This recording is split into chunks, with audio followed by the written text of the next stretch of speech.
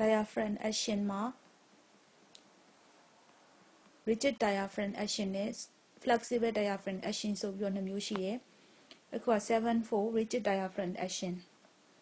အဲ့တော့ rigid diaphragm action ဆိုတာကကြတော့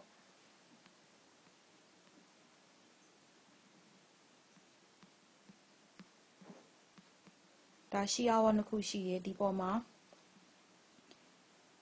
အမိုး diaphragm ရှိတယ်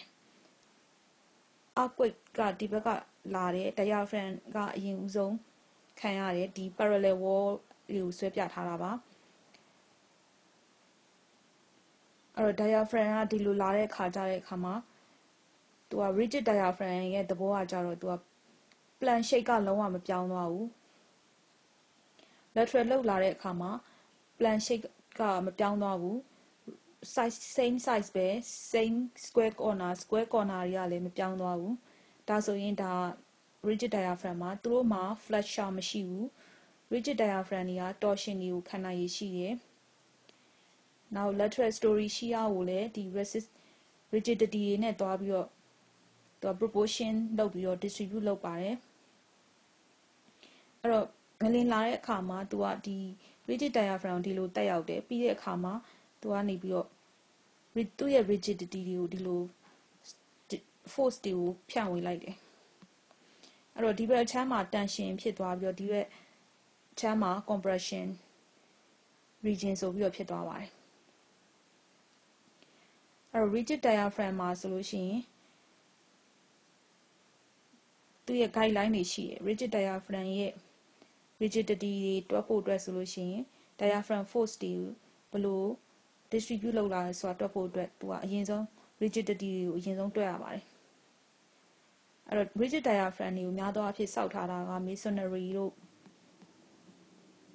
concrete တို့နဲ့စောက်ထားတာဖြစ်တယ်အဲ့တော့ relative rigidity of masonry နဲ့ concrete structure တွေကိုဒီ equation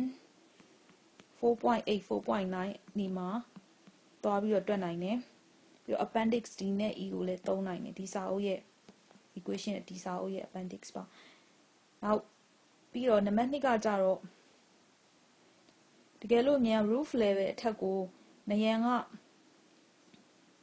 ကြော်ကြော်သွားမယ်ဆိုလို့ရှိရင် rigidity တွက်တဲ့အခါမှာ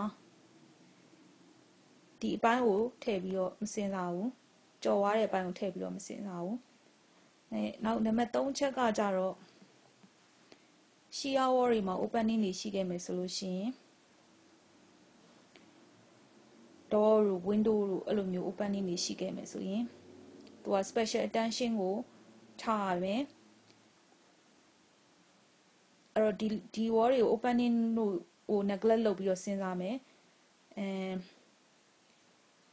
နောက်ပြီးတဲ့အခါမှာ neglect လုပ်ပြီးတော့ဒီ wall တွေရှိတယ်ဆိုတာ neglect လုပ်ပြီးတော့ဒါ rigidity ကိုထည့်စဉ်းစားမယ် နောက်ပြီးတော့ other method method တွေကိုသုံးပြီးတော့ overall rigidity ကိုစဉ်းစားမယ်နံပါတ်4ကကြတော့ traverse wall traverse wall ဆိုတာသူတို့နဲ့ perpendicular ဖြစ်နေတဲ့နေရန်နေရန်နေအဲ့နေရန်နေဟာတုတ်တွက်တဲ့အခါမှာဒီနေရန်တွေကို disrupt ကလုပ်ထားတယ်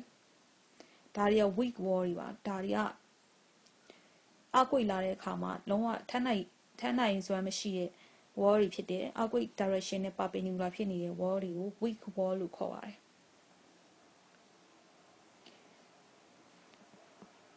weak wall တွေကို torsional လောက်တော့မှသာလျှင်ထည့်ပြီးတော့စဉ်းစားပါတယ်